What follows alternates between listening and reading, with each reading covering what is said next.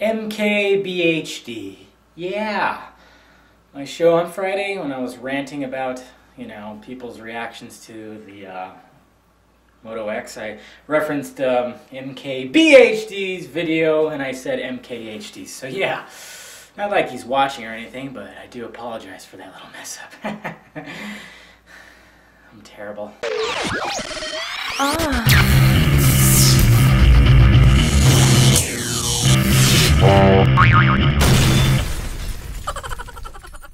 What is happening, my Android friends? Welcome to Tuesday's episode of The Mandroid Show. I am Dave, of course, your Mandroid host, and yes, have we let the Moto X stuff simmer down now? Look, it's not a perfect phone, but it is the game changer they promised us. And like I said, it's targeted more for those Galaxy and iPhone users, as well as people who haven't had a smartphone or I remember I was watching Pocketnow's in-depth, pretty in-depth um, review of it. They even said, you know, it's it's targeting, it'll help people get introduced to Android, which is always a good thing. But this is not a Moto X Droid show, so let's get started. Key lime pie was spotted in the wild, and I don't mean at the Coco's restaurant. Who writes this shit?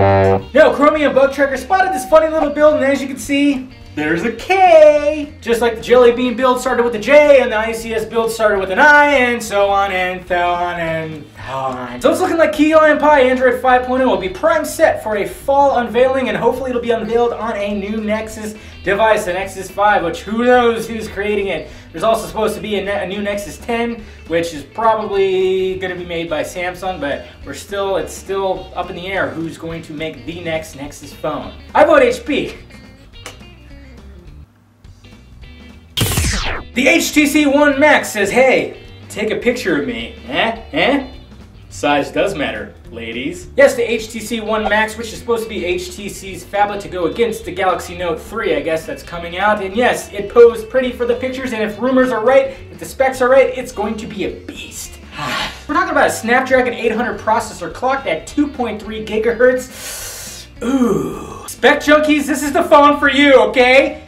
Leave the Moto X alone! No word yet on exactly when this phone is going to be launched, but I think it'll be sometime around when the Galaxy Note 3 gets unveiled or launched, which it's getting unveiled supposedly on September 4th because Samsung, they sent out invitations for the 4th, which I believe is a day before IFA. So a little bit of convenient timing as well as HTC's new change ad. Yeah, HTC dropped this little video that looks like a teaser for some kind of espionage film with the helicopters, guys in sunglasses and suits and whatnot. But then somebody gets out of that helicopter and who is it? Man, looks like Tony Stark. Yes, we know that Robert Downey Jr. was supposed to be doing some stuff with HTC and this might be the start of it with these new campaigns. Don't know exactly what they're going to change. Hopefully their marketing strategy and overall everything except for the devices. Keep making the devices the same. You go to plastic, I swear to God. Let me know what you guys think about all the stories I talked about today down below in the balls area. We also have the new Google Play Store download for you down in the description.